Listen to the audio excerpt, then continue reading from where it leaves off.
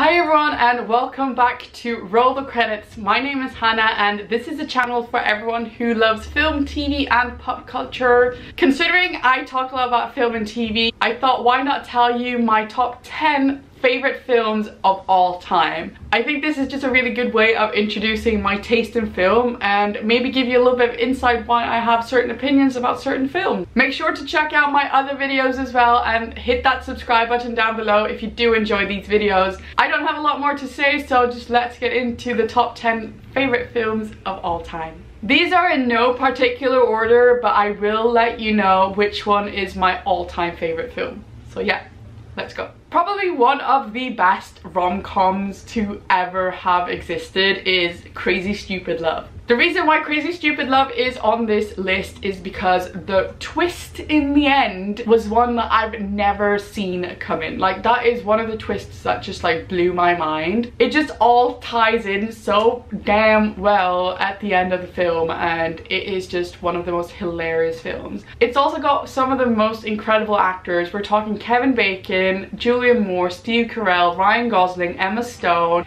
It is incredible and it is also really really funny and has some freaking iconic lines so yeah if you haven't watched crazy stupid love go watch it probably one of the most stunning space films i've ever seen and obviously it has mastermind Christopher Nolan behind it. Interstellar just absolutely blew me away when I watched it in the cinema. The really loud organ soundtrack just absolutely stunned me. The cinematography and the detailing of everything was just amazing and I love how even though it's such a ginormous story, it focuses on the characters of Matthew McConaughey and Jessica Chastain. It doesn't expand into a gazillion different characters, it's just about the connection of father and daughter and I just absolutely love it. It is stunning. It is a very long film but I have watched it a couple of times and I'm constantly blown away by watching it. Make sure you watch it in high quality and also on a big screen because it's definitely worth it. I love Tom Hanks. He is definitely my favorite male actor and he deserves to have way more Oscar nominees and wins that he does. One of my favorite films of his is Castaway. I made a blog post about my favorite films a couple of months ago, maybe a year ago now, and Castaway was on it and it's just Tom Hanks and a volleyball. I'm talking genius performance, amazing directing, and it's just such a stunning film.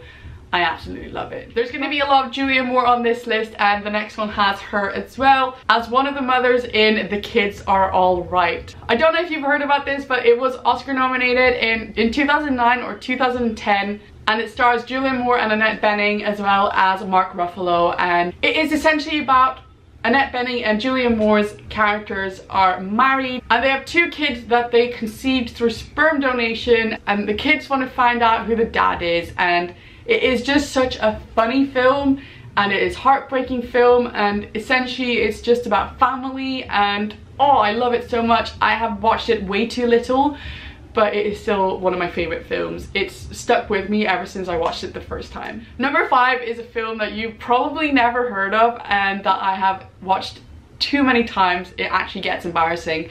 I once actually watched it twice on the flight home from Chicago and it is the film Goats. Now this is a film starring David Duchovny and it's also got Vera Farmiga in it and it is hilarious. So David Duchovny plays a man that goes by the name Goatman. He is this really weird hippie dude and he has a lot of goats and it is a hilarious film. It is actually a stunning film. For being such an independent, really odd film and there's a lot of goats, it's hilarious and it's so good and I kind of want to go watch it now. Actors the reason I got into film and TV is because I watched a lot of Grey's Anatomy when I was like 13 and I absolutely had a humongous crush on Patrick Dempsey when I was 15 like it was an embarrassing crush. He was in probably one of the best Disney films of all time, Enchanted. I'm not a big fan of Disney animated films which is why I'm so happy that Enchanted isn't animated but it is stunning Amy Adams is one of the most underrated actresses of our time and she deserves more and she is absolutely fantastic in Enchanted. So I don't really know what else to say. Enchanted is fantastic and you should go watch it.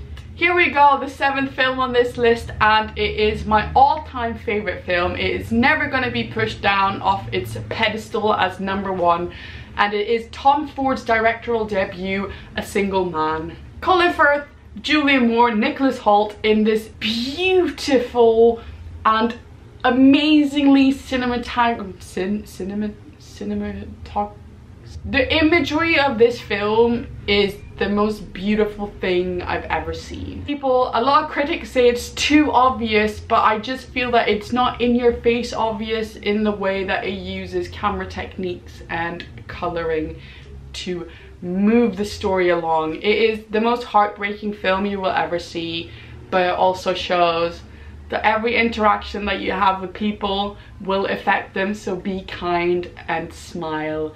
A Single Man will never not be my top number one favorite film. We're going back to Tom Hanks and also one of my favorite directors of all time, Steven Spielberg. Can he do anything wrong? This man is a genius. Even though he makes like the most basic films, he is fantastic. He is just spectacular at everything he does and together they form the best team. They need to work more together because I really miss their collaboration. But Saving Private Ryan is 100% on my top 10 films of all time. Steven Spielberg, Tom Hanks, World War II, and an incredible film. I love it. And it's one of those films I haven't watched in a really long time, but it's never not going to be my top 10 film. We're saving one of the best films to last, and I was compiling this list and I was like there is one film and I can't think about which film it is that is so incredible. So I just googled best rom-coms because I knew it was a rom-com and I just couldn't figure out the title of it. I just I was like I just couldn't figure out which one it was. I knew the mood I have when I watch it and then it came up the Proposal. I mean, The Proposal is fucking genius. It's got Sandra Bullock and Ryan Reynolds and it is hilarious and nothing beats the scene when the eagle comes and steals her phone and then she's like, take the fucking dog instead.